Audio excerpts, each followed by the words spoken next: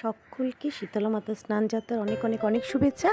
আর আজকে আমি আমাদের মায়ের শালকিয়াতে শীতলা মায়ের স্নানযাত্রা উপলক্ষে সকলেই আজকে উপোস করেন আর উপোস করে সারাদিন পর এই রেসিপিটাই ঘরে এসে খাওয়া দাওয়া করা হয়।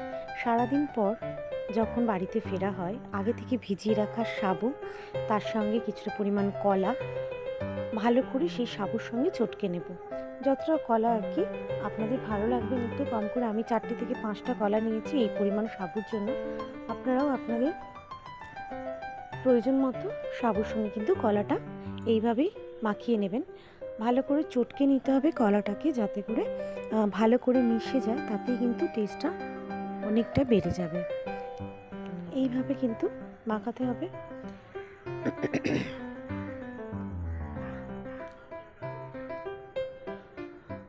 কলার দানাগুলো ভেঙে ভেঙে দিতে হবে যাতে করে দানা দানা না থাকে। যতটা সম্ভব কিন্তু ওটাকে হাতে করেই মাখতে হয়, এতে কিন্তু হাতে করে মাখাতেই টেস্ট লাগে।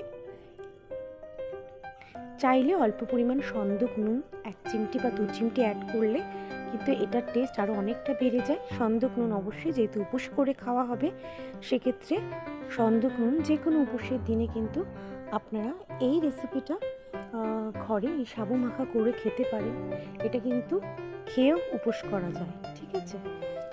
তো তারপরে নিয়ে নিয়েছি একটুখানি বাতাসা, গুড় বা বাতাসা কিন্তু হেলথের জন্য খুবই ভালো, চিনি অপেক্ষায়, তো সে কারণে আমি নিয়ে নিয়েছি কিছুটা বাতাসা, আপনারা চাইলে গুড় দিয়েও কিন্তু এটা মাখতে পারেন। আর কেউ যদি প্রয়োজন মনে করেন যে চিনি দিয়ে করবেন, তাহলেও কিন্তু এই রেসিপিটা চিনি দিয়ে মিষ্টি করতে পারেন। দিয়ে দেবো কিছুটা পরিমাণ সন্দেশ। এতে কিন্তু সন্দেশটা খুব সুন্দর যায়।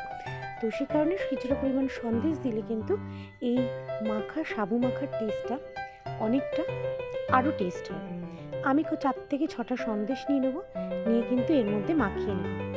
তারপরে দিয়ে দেবো কিছুটা পরিমাণে নারকোল কোড়া। নারকোল কোড়া আমাদের শরীরের জন্য যতটা ভালো, প্রচুর উপকারী।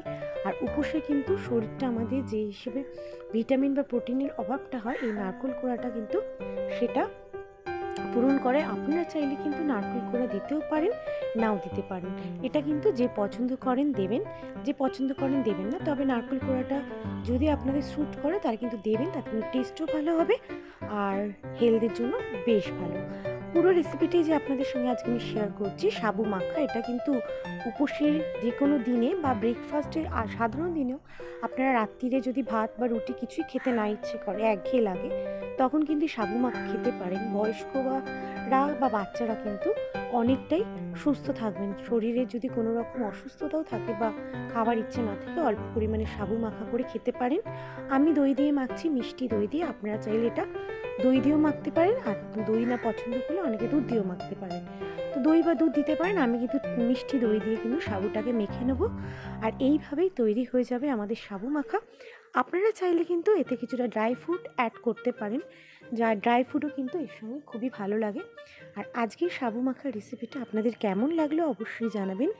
আবারও সকলকে শীতলা মাতা স্নান যাত্রার অনেক অনেক অনেক শুভেচ্ছা। এটা স্পেশালি আমি তাদেরকে বলছি, যারা নাকি হাওড়া জেলায় বাস করেন বা হাওড়ার শালকিয়া জেলায় বাস করেন, এই অনুষ্ঠানটা শুধুমাত্র শালকিয়াতেই হয়, মায়ের স্নান যাত্রা, শীতলা মায়ের স্নান যাত্রা। আর আজকে সেই উপলক্ষে আজকে এই সাবু মাখা রেসিপিটা আমি আপনাদের সঙ্গে শেয়ার করলাম। তো আপনাদের রেসিপিটা কেমন লাগেছে অবশ্যই জানাবেন। আর এবারে কিন্তু কিছুটা পরিমাণ আঙুর সন্দেশ আর নারকেল দিয়ে সাজিয়ে পরিবেশন করলাম। আর উপসের যে কোনো দিনে কিন্তু এই সাবু মাখা আপনারা ঘরে ট্রাই করতে পারেন। তাতে করে কিন্তু হেলথের জন্য যতটা ভালো। আর সারা দিন পরে পেটটাও ভরে খুব সহজে। তাহলে এই সোজা রেসিপিটার জন্য একটা লাইক করে দেবেন। আর আপনাদের কেমন লাগে সাবু মাখা অবশ্যই আমাকে জানাবেন। সুস্থ থাকবেন, ভালো থাকবেন। সকলকে আবারও একবার